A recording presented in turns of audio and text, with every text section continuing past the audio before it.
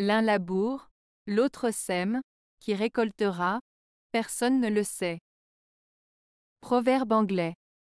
Ce proverbe exprime l'idée que le travail peut être partagé entre les individus, mais les fruits de ce travail ne sont pas toujours garantis pour celui qui l'a effectué.